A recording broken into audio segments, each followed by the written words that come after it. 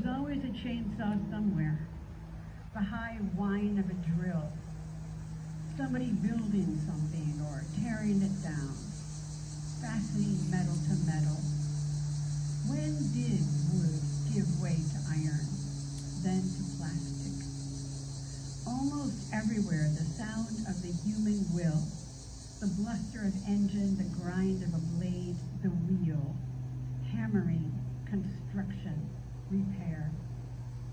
someone nailed to a cross, someone leashed, lashed, someone hung from a scaffold.